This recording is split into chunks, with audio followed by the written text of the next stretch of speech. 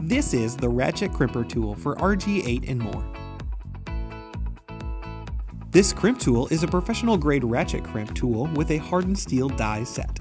It is suitable for crimping connectors onto RG8, RG11, RG213, LMR400, and Belden 9913 coaxial cable.